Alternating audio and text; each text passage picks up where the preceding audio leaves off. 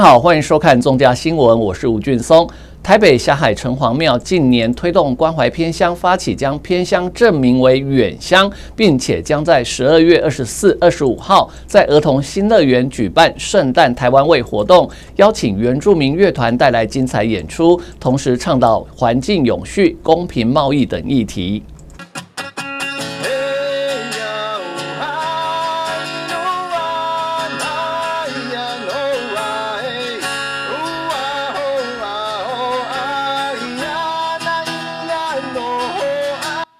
原住民乐团卡纳塔用嘹亮的歌声为即将登场的圣诞台湾味活动暖身。台北霞海城隍庙二零一八年启动送暖到偏乡计划。将物资送到将近四十所学校，过程中发现偏乡一点也不偏，因此希望为偏乡来证明。其实这个活动我们已经做很久了，呃，比如说，呃，近五六年来，我们几乎都是把一些啊庙里的应该啊拜拜过的，或者是我们有活动的那些糖果饼干。啊，就送到偏远的乡，啊，哪知道都是一些小朋友或者是老人家，那我们就知道说，很多人都需要我们啊庙里的东西。远乡它不远，它就在您身旁，那偏有一点点，好像对于人的一种偏失的感觉。我们真正的讲，这个是我们这一次呃十二月二十四号、二十五号活动里面最大的一个想要做好的就是。偏乡不再叫偏乡，我们就叫远乡。除了为偏乡证明，霞海城隍庙秉持城隍老爷重视善恶平权的精神，近年来支持公平贸易、同婚平权，并且跟上永续环境议题，与使用环保素材知名的时装品牌 Jun Garden，以及打造全台唯一保特瓶回收车的 FNG 世代设计合作，共同推广环境教育与永续美学。呃，我们所讲偏乡或远乡都真的很漂亮，所以像小琉球每一年的游客现在会超过一百万，但是呢这一百万的话，我们产生了超过三百万个保特瓶，所以这个保特瓶怎么办？所以它都是用太空包一个一个进来。那我们的话是希望说，透过好归宿这个计划，我们可以开着车到每一个地方，不管是它是很近很远，它其实。每一件事情我们都可以离我们很近，比如说我们可以把保特瓶用什么一个方式可以去做回收。我们现在所看到的保特瓶的话，都是要用经过好几道的流程，但是每一个流程它都是一个碳排。那你如果我们现在讲台湾的保特瓶回收率的话，到九十五趴，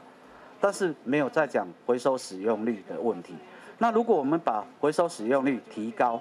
那我们就是不是就可以做得更好？所以我们希望说，透过车的移动，可以到每一个角落。因为我在过去其实都是以就是呃永续时尚的概念在做我自己的品牌。那也因为响应了二零五零年的近零排放的这个议题，那所以呢，这个已经是当务之急，大家都必须要赶快马上去做的。所以这次在呃。城隍庙这边邀请的时候，我就觉得一口气就赶快答应哦，就是希望说我们是否能够就尽一些我们自己微薄的力量，就是利用我们的呃一个远乡的议题，然后把这些永续的概念带到远乡去，让呃原民的小孩也可以穿着更加时尚的服装来穿着。那这一次呢，呃，我特别是以。呃，主灵的眼睛，菱形就是泰雅族的一个主灵的眼睛，作为我的设计概念融入我的设计其中。那我希望说，能够让这些呃。泰雅的这种像是象征生命意义的一些想法，能够在服装的概念里，所以呢，我就使用了宝特瓶的回收纱进行我的素材上的设计，然后也用祖灵的眼睛在我的图图腾里面去做设计。这个城隍爷我们翻为 City Guard，他就是一个长官。管理这个城市，所以他有权利让大家都平权，让大家都 peace 啊。所以呢，我们这个呃还有公平贸易的，我们也做到了。然后还有很多，比如说啊月经平权啊，女生也来我这里做活动，我就觉得说，霞海城隍庙要做的事非常的多，然后再讲到说，你既然要做远香，当然有一些好的设计师，我们就跟他说，那我们未来如果啊那个学生要的制服，是不是有可以借您的手，借您的想法啊？结果他本身也是属于呃我们讲的说。原住民，所以他的想法就像呃祖灵的眼呐什么那种去设计，所以我这个觉得就特别美。然后还有一件比这些事情更大的，就是我们当年的产业现在变成我们的眼泪啊，我们就觉得原来我们当年没有去想好这个。保特瓶会造成的多少的伤害，或者这保特瓶会造成海洋的污染？这保特瓶有什么不好？然后我们把不好的东西怎么样呢？不是全部都不能用，我们是不是可以再使用？那再使用就先把它变成保特沙。这里有一部车子，我们就可以把它碾了，碾了以后是现场让。啊，大朋友小朋友觉得一个趣味性，其实就是让他知道，开始认识我不要用多。我希望这个就是大家都需要知道的事情。然后我们为什么摆在呃儿童新乐园？我们想从儿童开始做。我希望跟着小朋友，跟着年轻人，我们手牵手一起，向着最棒的台湾。圣诞台湾味活动将于十二月二十四、二十五号在儿童新乐园举办，现场还有原民文化体验以及精彩演出，欢迎民众一同感受元宇宙的魅力。记者林希慧台北报道。一九七八年，来自台中清水的少年 gay 在木栅开设三方制油厂，原本以花生油、芝麻油、小磨麻油起家，附近茶农送来苦茶籽、茶叶籽，开启榨油新篇章，让木栅老街飘香近半个世纪，也滋养着世代人。致力最好的原料做好油。挺过黑心油使然风暴，在当地广受好评的粮油店家，是位于文山区指南路上的这间老字号门店。一九七八年由父亲开设，以花生油、芝麻油、小磨麻油起家。后来因为养生风气兴起，附近茶农送来苦茶籽、茶叶籽，开启榨油新篇章。二代老板郑柏林重振形象，提炼品牌价值。我们到大概八零年代开始，从麻油、香油的生产的数量较大，改为苦茶油的生产跟茶籽油的生产为主。那我们我们的油厂其实一直都是用最好的原料。我们其实经历从以前到现在，总共经历了三次食用油风暴。第一次是民国六十九年的。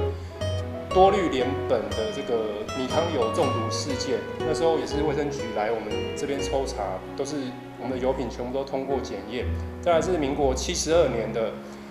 呃，北部这边发生一个很严重的地沟油事件，那那个时候也是卫生局大动作来我们的店面做一些油品的清清查动作，那那时候也是通过检验。那再来比较大家比较知道的就是。二零一三、二零一四年的时候，连连续两年的食用油风暴，那我们也是通过那两年所有卫生署、环保局，然后还有一些食药署，都到我们的工厂还有门市来检验，那我们也是都通过检验，那我们就是用最好的原料去生产最好的油。郑柏林坚持父亲理念，传递正向能量，用好的原料、合理的工资与价格，让每个人都能吃到好油。不少客人也给予反馈，就是他们生产的最大动力。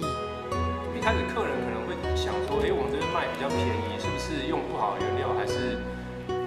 还是还是怎么样的因素才会这么便宜？”但是其实有些客人会帮在帮我们去介绍，那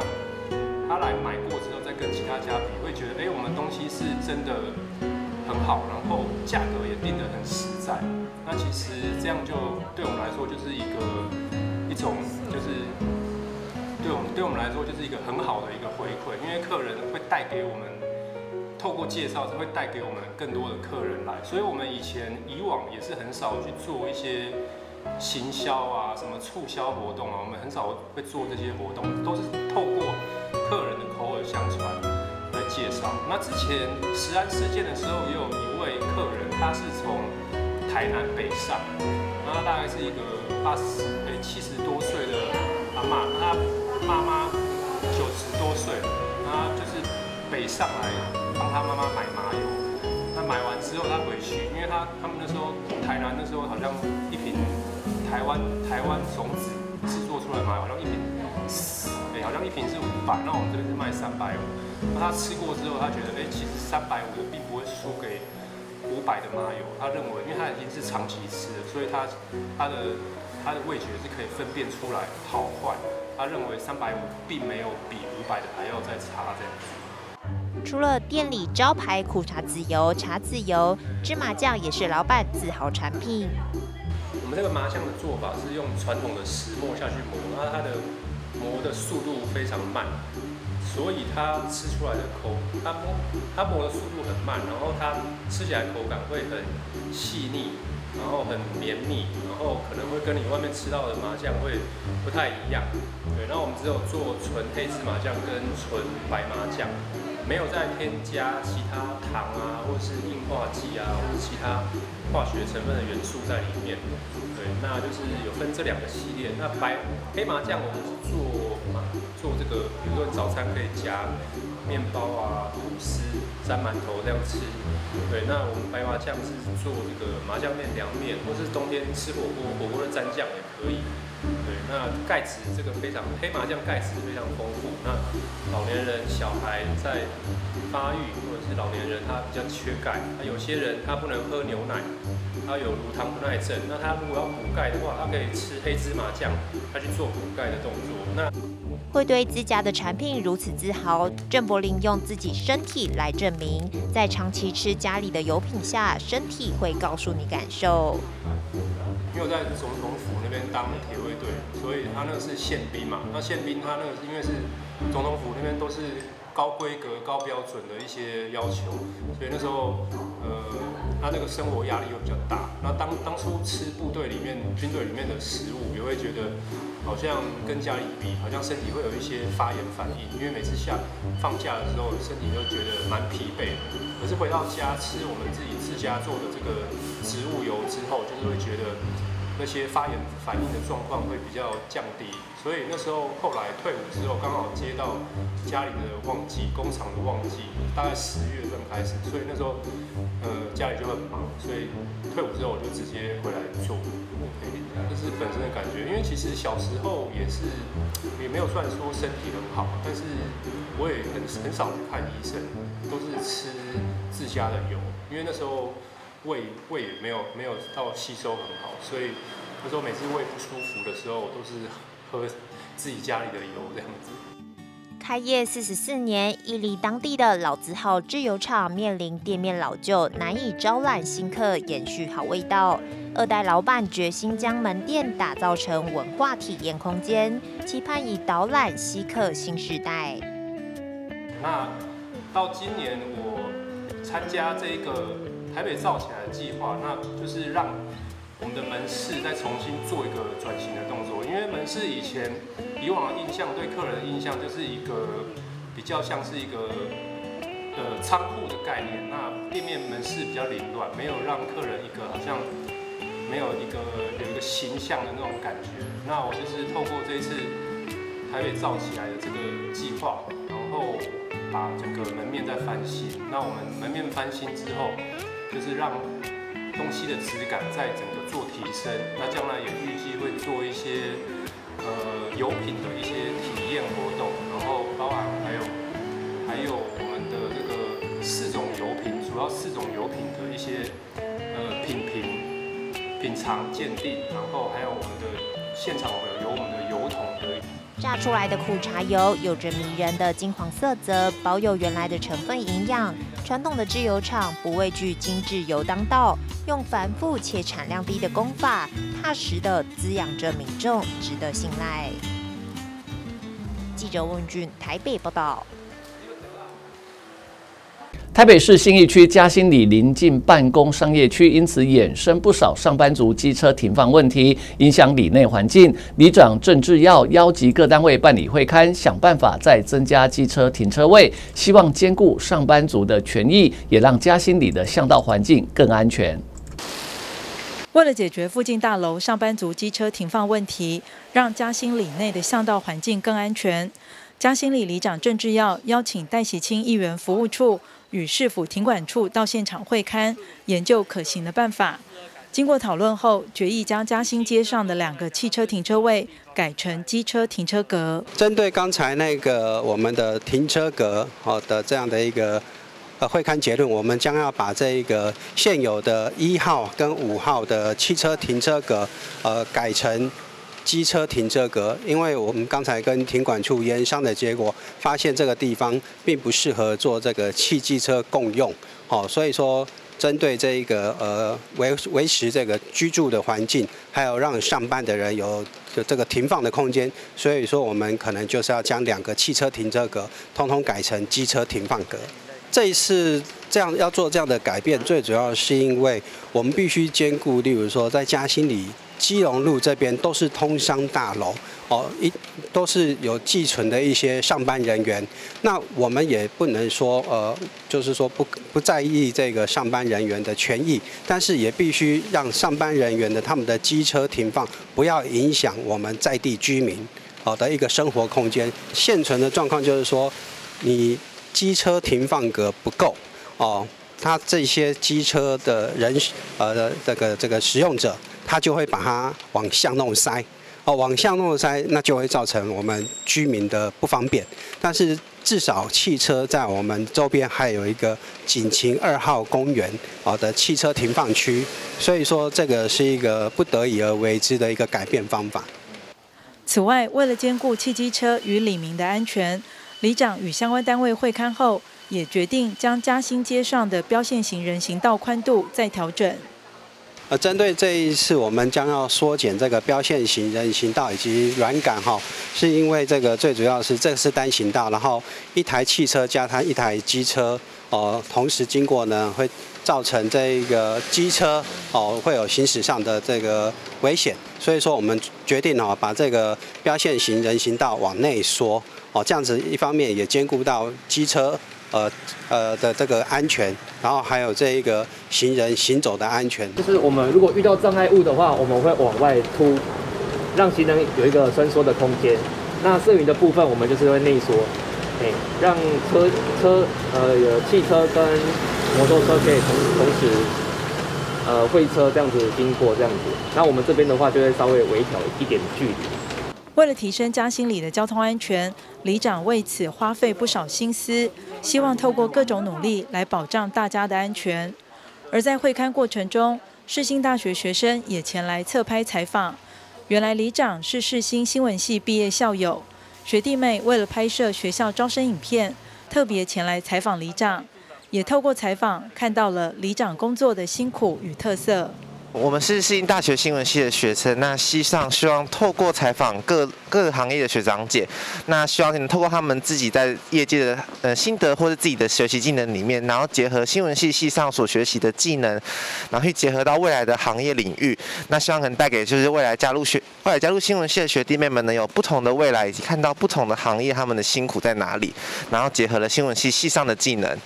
那我们就透过这个机会认识到我们这个里呃学长的呃担任学长的哎担任里长的学长，那希望能透过他实际在里长这行业的工作上面，然后去带给我们知道如何他如何结合新闻系上所学的技能以及技巧以及特色，去展现在他的服务里民上面或是宣导政策上面的一些政策或内容。诶，可以看见其实里长的工作其实非涵盖非常多，除了服务里民啊，或是服务到地，然后结合政府的政策，然后去帮整个道路做整建跟改化。整个里民都要了解，所以可以看到里长的工作其实非常的复杂多样化，所以可以看到大部分每个里长其实都非常的辛苦，要感谢其实每个里的里长这样子。然后呢，我当完兵退伍啊，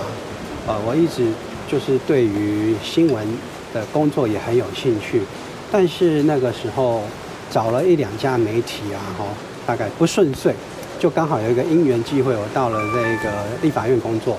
然后呢接触到刚好人。是叫做新闻联络人的工作，所以说呢，当不成记者，但是却变成是一个伺候记者的工作。对，那但我觉得这个是一个互动的过程，其实也觉得，呃，开启了就一方面就是我对于政治工作，的这样的一个一个开端。好，那当然也透过跟记者的这样的一个联系，加上我自己新闻系的背景，所以说呢，也可以更快、更深入的了解我这个政治的工作的内容。哦，那当然后来也接续到我后来，例如说在若干年后，我到嘉义县政府的新闻行销处，哦，担任机要工作。哦，然后在之后呢，也就是因为我本身台北人嘛，所以不可能在嘉义再继续待下去。那后来选择回来台北。哦，那因为刚好我以前有浮选的工作，那自己本身也担任政治工作，所以有人说，我觉得担任里长可能是我最好的一个选择。念新闻系呢，有一个至少培育我有一个这个技能，叫做快、很准。哦，这个是我想这是作为一个新闻工作者可能必须要的具备的一个基本素养。哦，就是你很多东西就是抓重点要快，对不对？然后做事要快、很准。我觉得这三项是我在新闻系，在这甚至接触媒体和新闻工作者里面，我觉得这三点一定要非常的拿捏哦。如果你有这个，我相信有这样的一个基本素养，透过新闻系这样培育的基本素养，其实你在社会上有很多工作呢，都可以让你做得很顺遂。因为我想每一个老板，像李明是我的老板，都希望你他们交代的事情，你能越快速越准确的把它完成。所以我想，这真的是新闻系培育我的一个技能。里长郑志耀也特别感谢李明的肯定，再次给他服务的机会，让他连任成功。他将秉持为李明服务的初衷，打造安全又幸福的嘉兴里。记者陈淑平台北报道。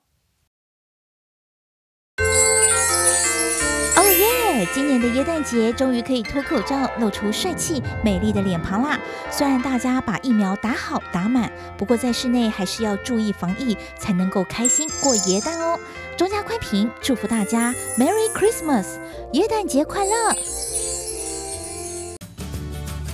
！Home Plus 中家宽屏在地影像培力与证件计划开始喽！即日起到十二月十五号为止，丰富奖励等你来拿。详情请洽中嘉新闻 FB 粉丝团或扫描真件简章 QR code。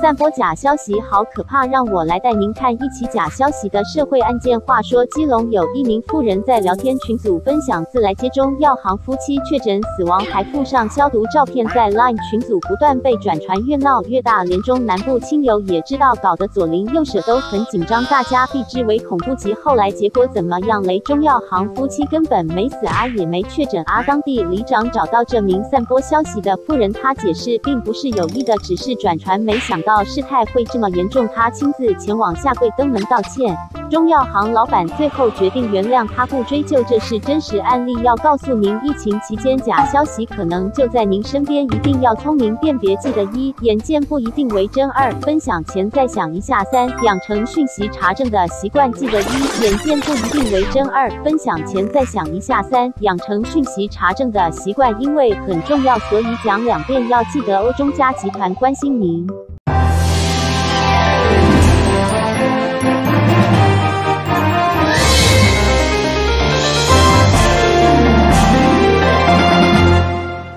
为了推广学生运动赛事，教育部体育署从一百零八年开始持续投入经费，培育运动传播人才。今年总共有十八所大专院校参加，也首度颁发最佳转播团队奖、最佳主播奖等六大学生奖项，让学子们将传播和运动赛事结合，进行多元学习。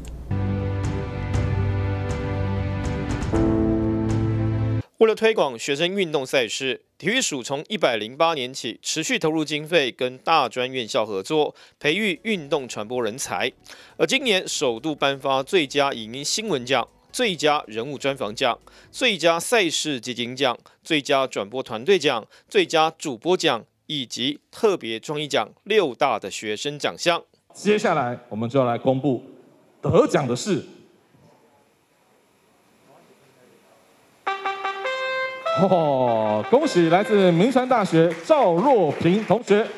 呃，我那时候遇到状况就是，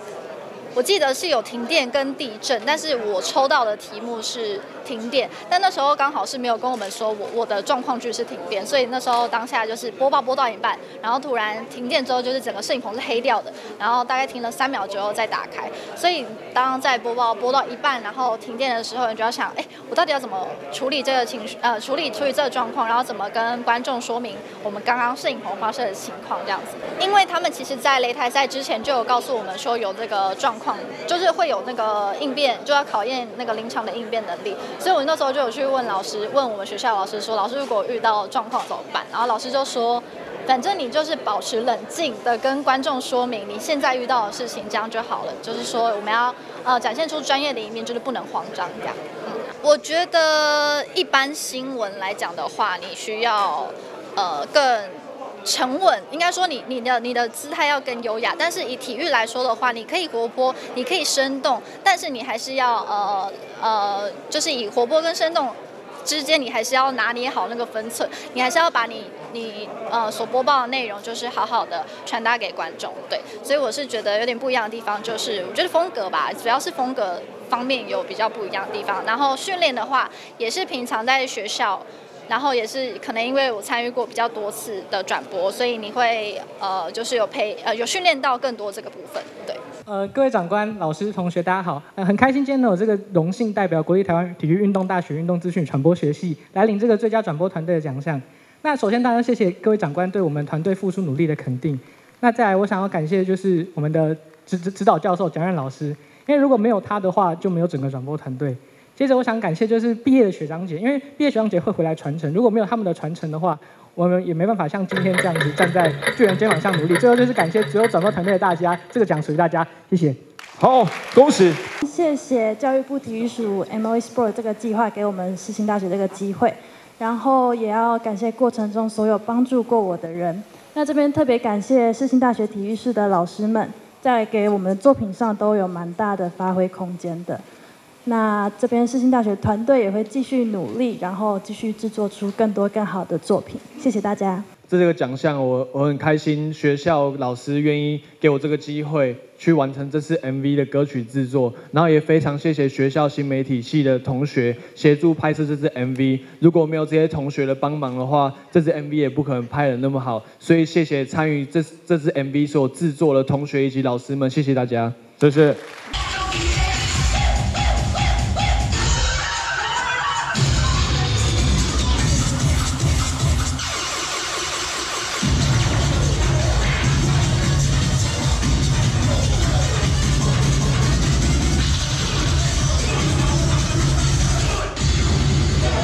今年一共有十八所大专院校来参与运动传播人才培育计划，各校师生团队在全中运、全大运等体育赛事来进行直播、专访、宣传赛事，展现丰硕的学习成果，也让同学们累积实战经验。呃，我们其实一直以来参加的赛事都是全运会，然后还有全大运、全中运这些的。跆拳道项目的转播，那在这除此之外，也有参加韵律体操，还有柔道这等等等之类的转播。然后在之中学到的东西，其实比较像是食物类。那在食物上，因为其实学生在校内很难有像这么大的体育赛事转播可以做学习。那在这上面呢，可以学到跟协会的沟通，还有老师同学们之间的分工、团队合作等等。然后不管是在线路的连接，还是现场的工作分配上，其实可以可以感觉到说，转播真的是一个团队合作的活动。然后也可以从此就是发展出之后的兴趣。像是以我为例的话，就是之后也会想要。进入到体育赛事转播啊，或者是电视台等等相关的工作里面。那这中间的话，就是一个很好的连接。那再搭配上之后大四的实习，就是可以让我们更快融入工作环境跟职场这样子。我觉得在，因为其实我们学校有蛮多同学都蛮想进入体育台，呃，不管是当记者也好，或者是幕后摄影也好，我觉得这个计划对我们来说是一个非常好的呃培育的。空间，就是我们可以在这四年里面，我们就比别人可以早实习到这个部分。所以我觉得应该不管是幕前也好，或是幕后也好，大家都觉得这是一个很好的机会，出去你真的实战到经验，而且呃你就多更认识一个体育项目了。对，所以我觉得呃这个计划如果可以继续的传承给学弟妹，我觉得应该是对台湾的呃体育来说是非常好的发展。因为我们这堂课程很。很简单，就是呃，我们就是主要组成是大三，然后从由大三带大二的同学，然后让我们的经验跟赛事的内容是可以一直传承下去的这样子。然后每一次转播的出击大概就是二十一人的团队，然后这中间是包含主播组啊、摄影组跟导播组还有成影组。那大家就是在自己的组组内，就是会各个工作都是轮流轮替的这样子，我们会轮班，然后就是互相协助。因为在我们学校的系上是大家每一年都会做不同的事情，比如说大一是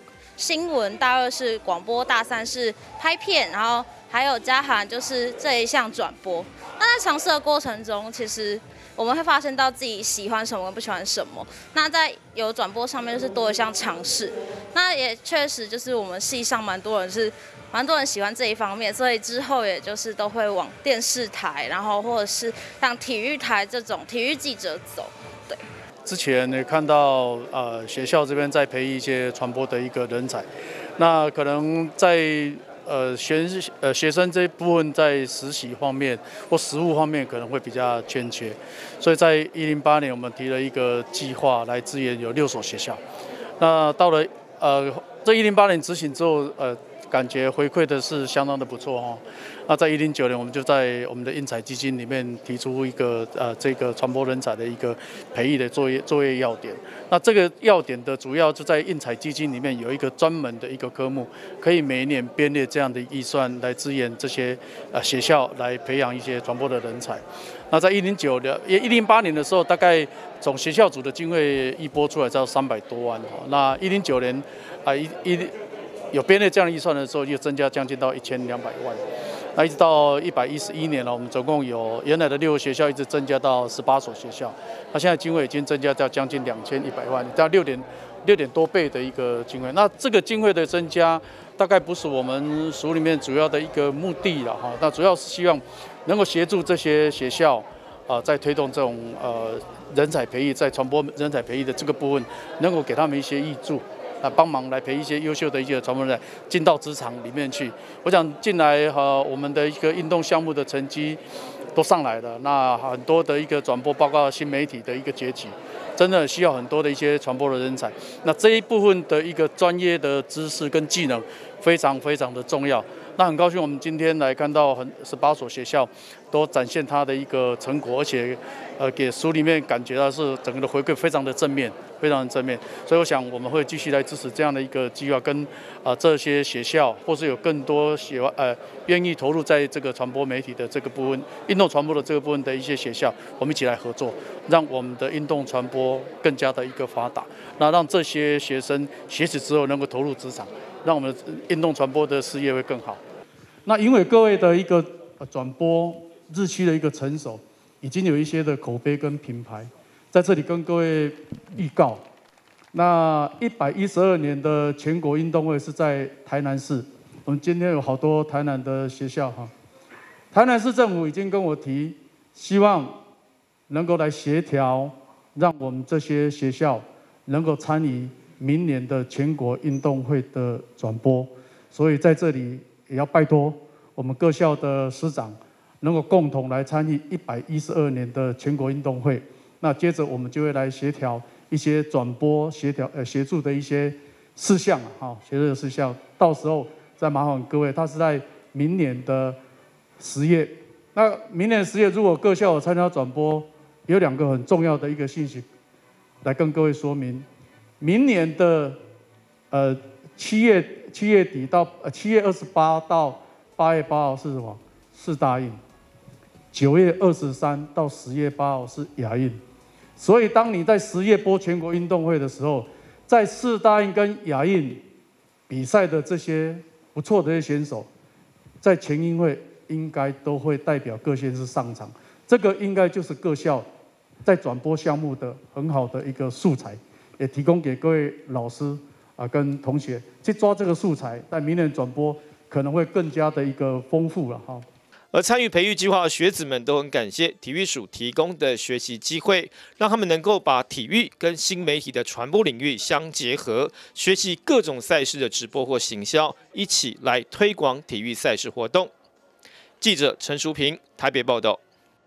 台北指南宫与肝病防治学术基金会日前举办免费保肝筛检活动，邀请肝胆肠胃专科医师为前一百五十位民众做免费腹部超音波检查，也提供年满三十岁以上民众免费肝炎及肝癌筛检。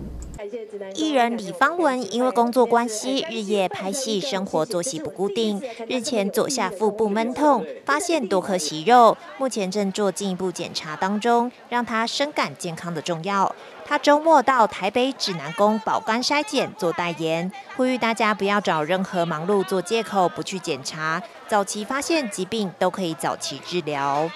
我身边的很多朋友喝酒呢，肝硬化的啦，这几年啊，然后呃什么，因为呃长期的过劳啊，吃太好啦，胆固醇啊，我都觉得说，告诉自己，我们要爱自己，让我们的生活更美好，所以我们必须要常常定定期的检查。哎，请问，请问你，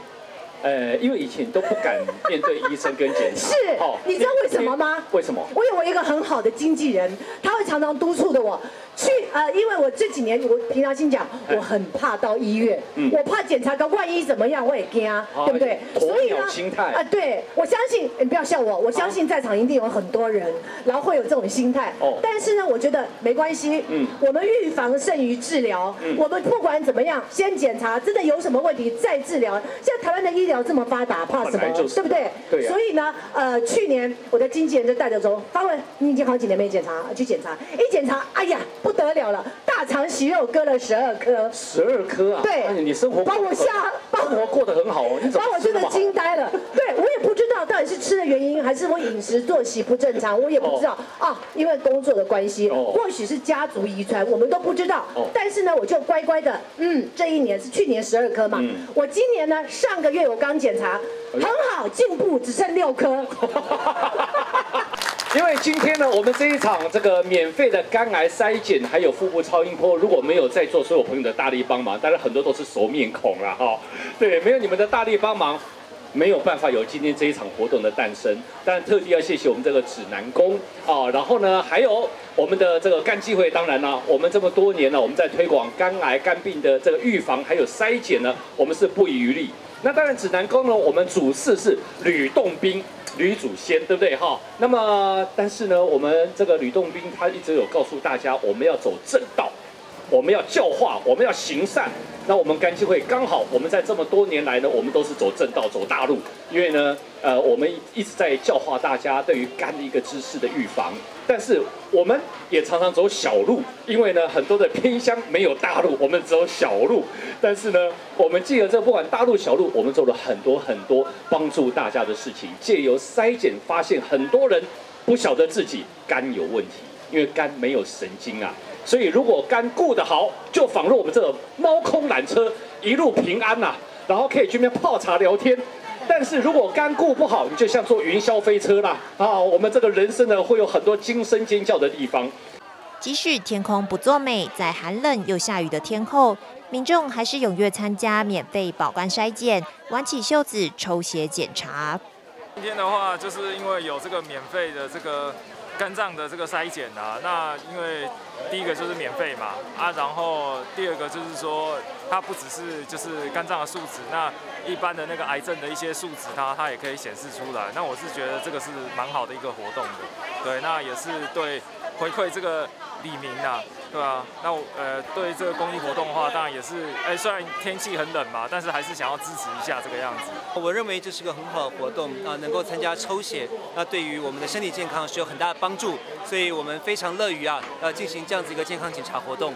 今天我们来参加指南宫跟台北好心肝一起办的这个很有意义的一个呃抽血检查跟腹部超音波的活动。呃，我们大家李明都很热情的参与，虽然说天后状况不是很好，可是大家参与的程度非常的热络。那我们也希望能够透过这一次的活动呢，呃，往后每年都可以再继续举办。然后扩及到我们更多的里民，那让我们附近这几个里的一些里民都能够受惠。对，因为第一次办，我们也不想大家能够得到这么大的回响，非常的好。那我们里民给我的回馈也觉得说，哎，这个活动对在地的里民非常的有意义。那我们希望能够继续能够举办下去。肝病每年夺走上万条性命，因此抽血筛检是基本动作。筛检出的 B 肝、C 肝炎患者，一定要再做腹部超音波检查，才能确认肝脏是否健康。所以今天我们很高兴跟指南宫这边共同来办这个活动，所以是很好的一件事情，也是很有意义的。我们希望将来呢有更多合作的一个机会。那天时呢是。我们在这个地方来办活动，高主委刚刚也讲过，应该下雨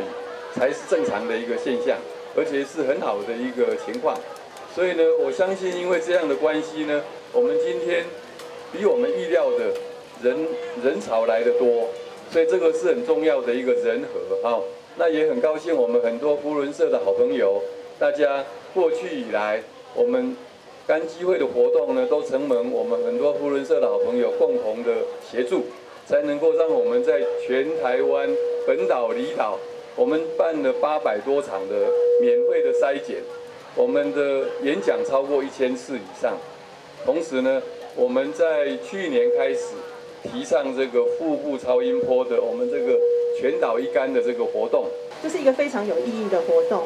因为在台北市，我们的慢性肝病，好在我们的这个主要的死因当中，已经占到了第十四名。那以及在癌症的这个部分，主要死因好肝癌是在第四名，所以像肝病，刚才主持人也有提到是没有声音的哈，要早期发现非常重要。所以在今天这样子的一个筛检活动非常有意义。这个雨啊，代表就是说雾后啊，一个上来山上有仙气，所以有云有雨，代表女主很开心。好，虽然在造成大家一点点的不方便呐。但是看到今天的盛况啊，我想啊，代表指南宫管理委员会啊，再次欢迎，同时感谢大家。我跟大家做一个报告，其实这个缘起呀，是 Chris 啊，啊，以及我们杨月虎杨董事长，我们讲很久了，但是也遇到这个疫情的关系呀，我们延了好好几次，但是选择在今天呐，我想有特别它的一个意义在里面，啊，所以整个文山区我们二十个里的里长。带领着我们的李明以及我们郑区长啊，带领我们文山区啊，我相信指南宫是李主的道场，李主讲的是修性修命啊，修心性啊，但是不只是要修心性，还要照顾好你的生命。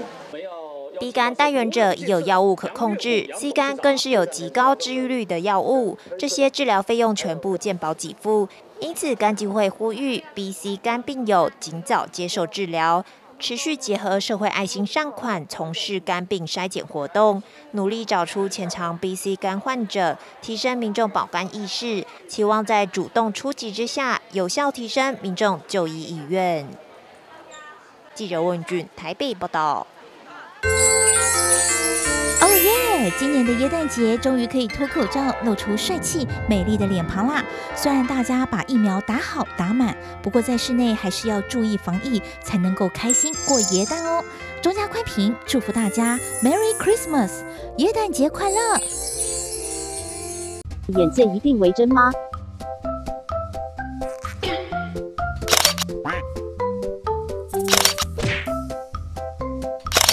我们换个角度来瞧瞧。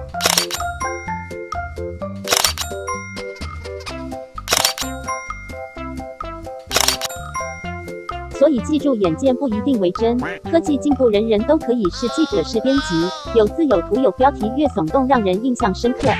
作者可能只是太无聊来玩玩而已。另外还有照片合成技术造假就更容易。还有现在很夯的 AI 技术，可以移花接木，不是他说的都会变成他说的。那该怎么办？教你简单小贴步：一、看到消息前先想一想，这会不会是假的？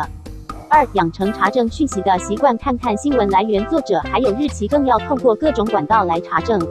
破解假讯息。行动四不一要：不要只看标题，不要分享，不要按赞，不要惊慌，要查证，要查证，要查证。中嘉集团关心您。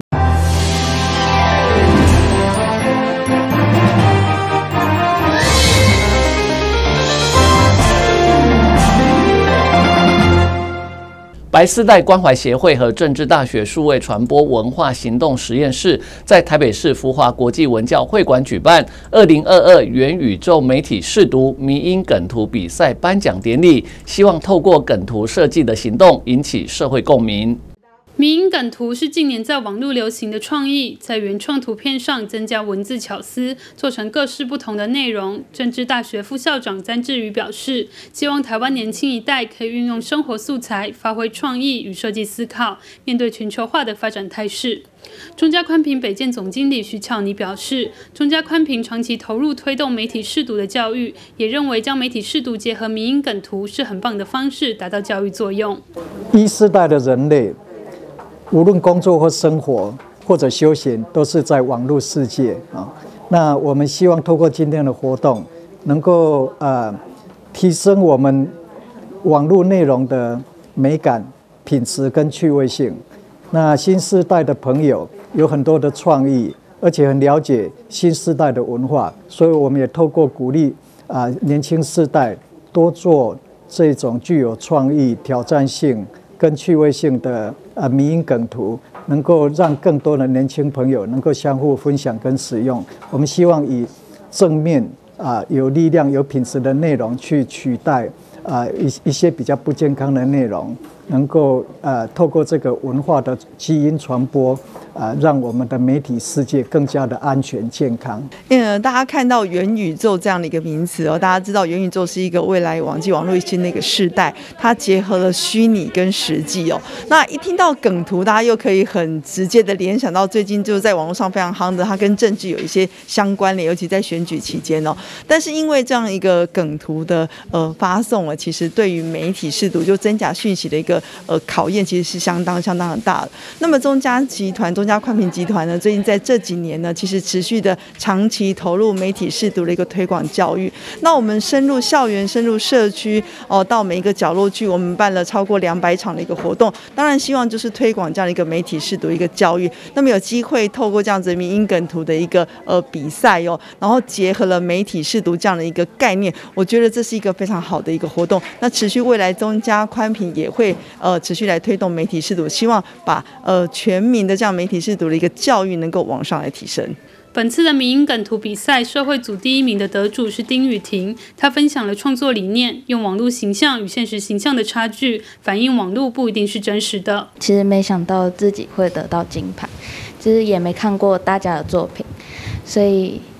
也很开心。这样，就是想表达是网络上跟现实不一定是一样的。是有可能差距很大，这样子，就是像作品当中，呃，我画，呃，网络中是一个高富帅，就身边都是美女，就很多金，就可是现实中他是一个呃比较邋遢的大叔，就是把两张图。就是形成一个对比，就是想表达，就是网络跟现实不一定是一样的。在颁奖典礼结束后，台北艺术大学动画系主任赵顺文也分享了民营梗图的现况发展。他表示，民营梗图与我们的生活息息相关，甚至能在之中感受到疗愈、幽默的体验，更能发挥全民的创意力量。那我们在评审的过程当中，看到呃有呃学生跟一般社会人士的很多的呃对于民营梗图的创意。那大家可能发想的呃素材或者是概念都来自于可能目前的一些社会现象，呃，或者是他们关心的一些可能亲子的主题，或者是呃同才的关系，哈，或者是学生之间比较会经常面临到的一些可能未来职涯的发展，都可以做成这种民梗图哦。那所以我觉得民梗图一定是跟我们的生活息息相关的，而且它会充满很多幽默感，甚至有疗愈的力量。那我们现在可能有因为疫情的关系，我们可能面对这个网络的时间哈，或在网络上的时间待得更久。呃，我们举办这个比赛，然后我也身为评审，我可以看到这样的一个趋势的呃潮流，包括全世界他们也都呃非常呃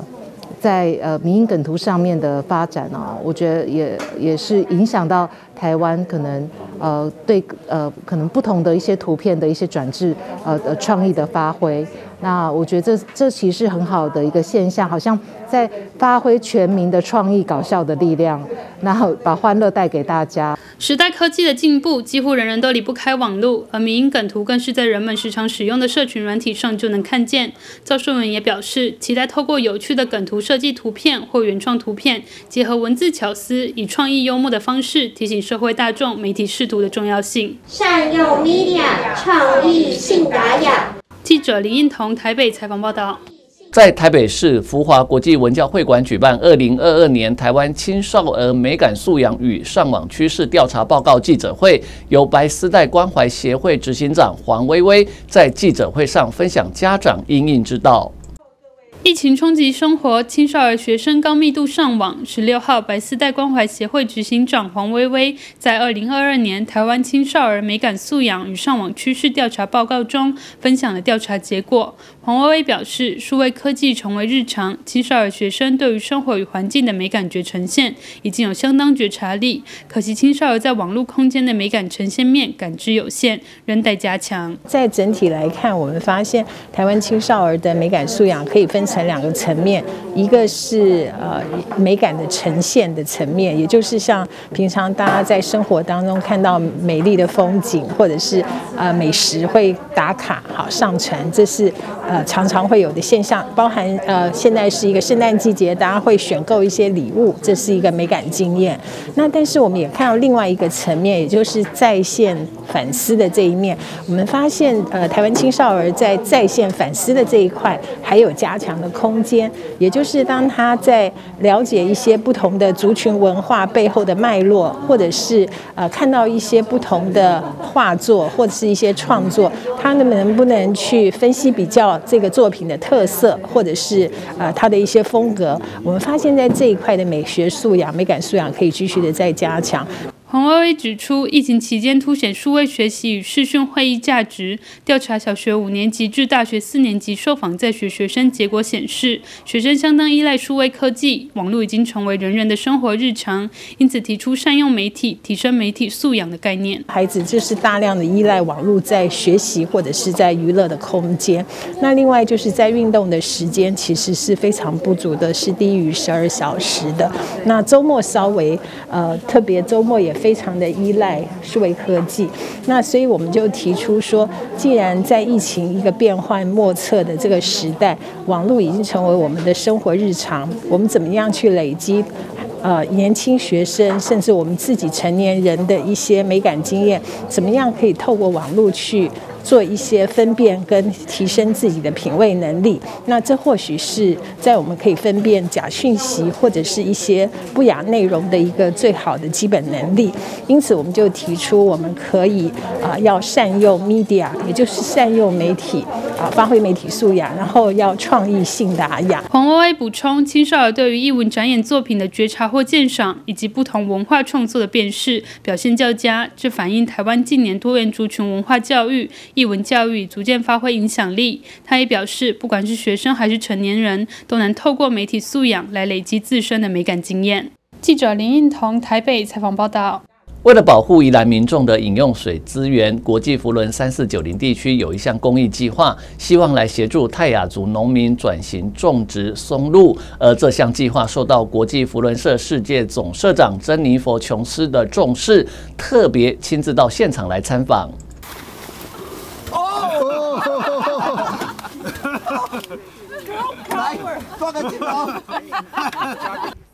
这项名为“福尔摩沙台湾”的雨润原乡，宜兰四季南山松露种植技术推广。跟机具设备捐赠公益计划受到了国际福人总社社长的重视，特别来到现场了解实际的状况，而基本上就是逐步来改变传统的农业形态，转向高经济价值的松露。This service project is one that I think is absolutely a remarkable opportunity. 其实我们呃看到这个案子，它是一个非常非常好的机会，来投资呃未来的一些产品的发展。那我们。我们呃，福伦人就是也是希望说，可以看到从传统的农作物做一个非常好的转型，到一个比较呃高效、高经济效益的一些产品，然后让这个社区可以继续成长。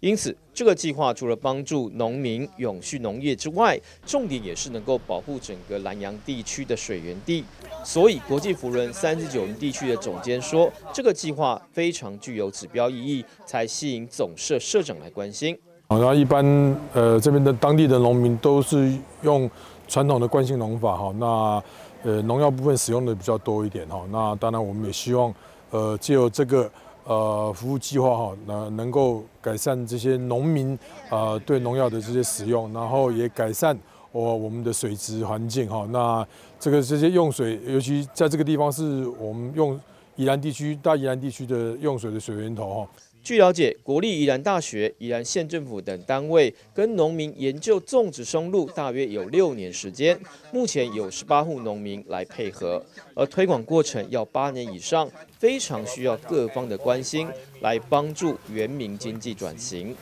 那今天非常开心哈，看到福伦社这样工业团体，好能够看到这个问题呢，愿意来做这样的一个哈辅导跟帮忙。那我相信。对这个计划来讲是非常非常有帮助的。而农民的方面非常感谢国际扶人能够来协助这个计划推动，让他们能够永续农业，也可以让青年回乡工作。啊，他们如果福伦社进来以后，我们都又燃起这个希望，说，哎，能不能延续下去，能够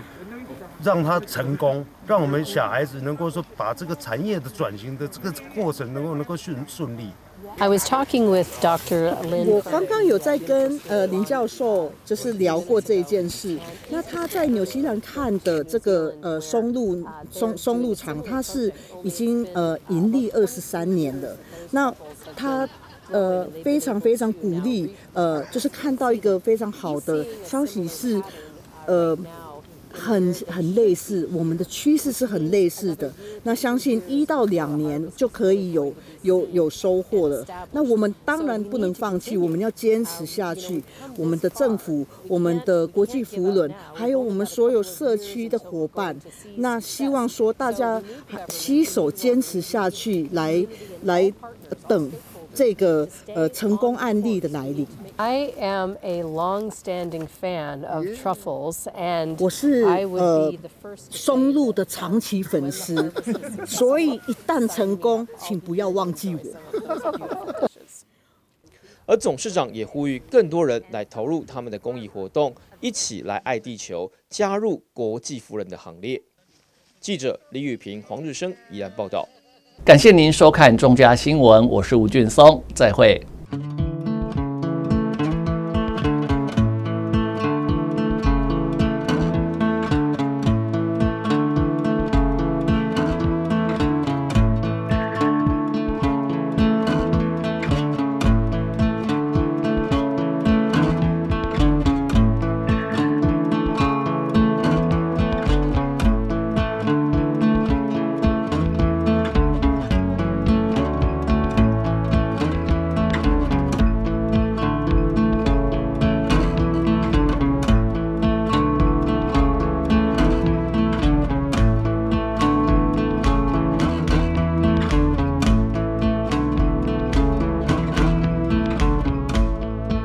散播假消息好可怕，让我来带您看一起假消息的社会案件。话说，基隆有一名妇人在聊天群组分享自来接中药行夫妻确诊死亡，还附上消毒照片，在 Line 群组不断被转传，越闹越大。连中南部亲友也知道，搞得左邻右舍都很紧张，大家避之唯恐不及。后来结果怎么样？雷中药行夫妻根本没死啊，也没确诊啊。当地里长找到这名散播消息的妇人，他解释并不是有意的，只是转传，没想到。事态会这么严重，他亲自前往下跪登门道歉。中药行老板最后决定原谅他，不追究，这是真实案例。要告诉您，疫情期间假消息可能就在您身边，一定要聪明辨别。记得一，眼见不一定为真；二，分享前再想一下；三，养成讯息查证的习惯。记得一，眼见不一定为真；二，分享前再想一下；三，养成讯息查证的习惯，因为很重要，所以讲两遍。要记得，欧中家集团关心您。随着疫情升温，假消息满天飞，到底哪个才是正确的？利用以下三个超实用 APP，简单操作，快速查证。赖讯息查证，加入赖好友，提供希望查证之讯息内容即可查证。另外还提供最新查核讯息供民众了解。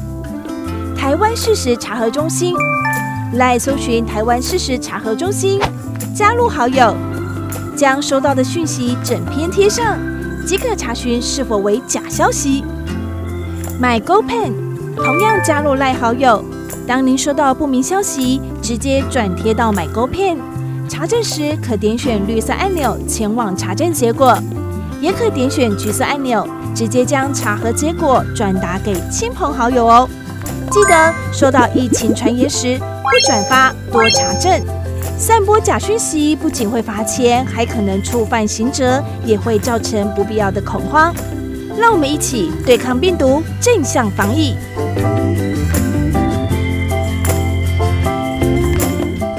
眼见一定为真吗？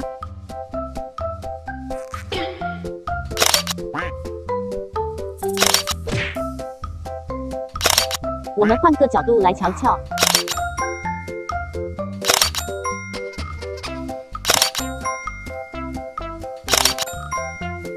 以记住，眼见不一定为真。科技进步，人人都可以是记者、是编辑，有字有图有标题，越耸动让人印象深刻。作者可能只是太无聊来玩玩而已。另外还有照片合成技术造假就更容易，还有现在很夯的 AI 技术可以移花接木，不是他说的都会变成他说的，那该怎么办？教你简单小贴步：一、看到消息前先想一想，这会不会是假的？二、养成查证讯息的习惯，看看新闻来源、作者还有日期，更要透过各种管道来查证。破解假讯息行动四不一要：不要只看标题，不要分享，不要按赞，不要惊慌，要查证，要查证，要查证。中嘉集团关心您。散播假消息好可怕，让我来带您看一起假消息的社会案件。话说，基隆有一名妇人在聊天群组分享自来接中药行夫妻确诊死亡，还附上消毒照片，在 LINE 群组不断被转传，越闹越大。连中南部亲友也知道，搞得左邻右舍都很紧张，大家避之唯恐不及。后来结果怎么样？雷中药行夫妻根本没死啊，也没确诊啊。当地里长找到这名散播消息的妇人，他解释并不是有意的，只是转传，没想到。到事态会这么严重，他亲自前往下跪登门道歉。中药行老板最后决定原谅他，不追究，这是真实案例。要告诉您，疫情期间假消息可能就在您身边，一定要聪明辨别。记得一，眼见不一定为真；二，分享前再想一下；三，养成讯息查证的习惯。记得一，眼见不一定为真；二，分享前再想一下；三，养成讯息查证的习惯，因为很重要，所以讲两遍。要记得，欧中嘉集团关心您。